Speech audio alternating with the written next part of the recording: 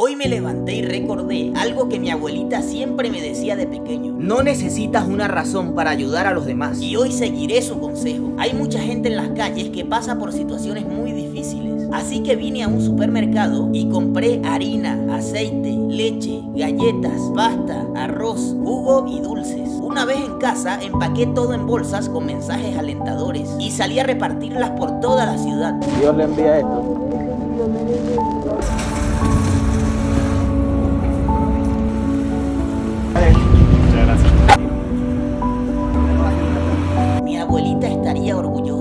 Suscríbete al canal que por cada nuevo suscriptor voy a regalar una bolsa de comida más.